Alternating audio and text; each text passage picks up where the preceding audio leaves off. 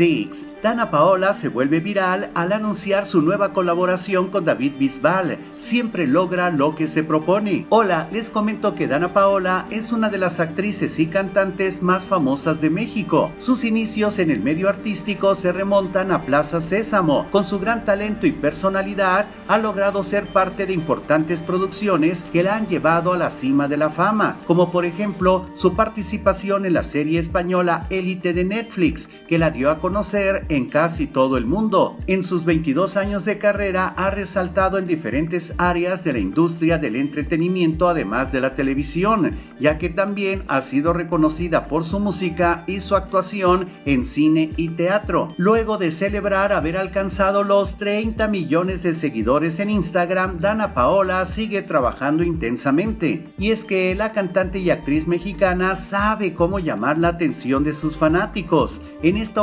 lo volvió a hacer a través de las stories de Instagram. En la misma, Dana Paola narraba su travesía de México a Madrid, España, mostrando su vuelo y el hotel donde se hospeda, además de su cuarto, hasta que alguien llama a su puerta. Tras abrirla, se encuentra cara a cara con David Bisbal e inmediatamente se puede escuchar un fragmento de su nueva colaboración. Tras darse un cariñoso abrazo, Dana Paola le dice a la cámara, otra canción, no se la pueden perder. 16 de abril. En el pequeño fragmento de su canción se escucha, vas a quedarte sin pretextos para ti. A pesar de ser solo una frase, el avance que dio Dana Paola le valió para volverse tendencia en Twitter. Esto debido a que la cantante y actriz desde hace un año ha tenido ganas de colaborar con David Bisbal. Se sabe porque hace un año Dana Paola publicó en sus stories de Instagram un video casero haciendo un cover del tema Si tú la quieres que hizo David Bisbal al lado de Aitana. En aquel momento, David quedó más que fascinado con la interpretación de la cantante mexicana. Ahora todo parece ser que después de esta conexión, Dana y David Bisbal comenzaron una amistad que ha durado hasta el día de hoy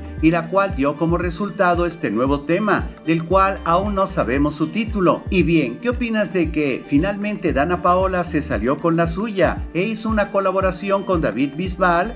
Escribe tu respuesta en los comentarios. Si este video te parece interesante, dale me gusta, compártelo con tus amigos y suscríbete a este canal. Soy Marco Antonio Velázquez, hasta la próxima.